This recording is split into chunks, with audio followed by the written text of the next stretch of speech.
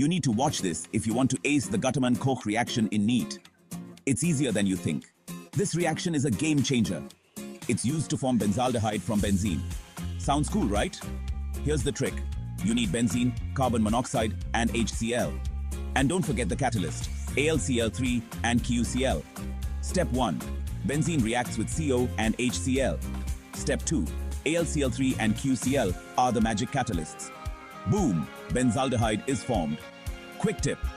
Always remember, Gattermann-Koch is different from Gattermann aldehyde synthesis.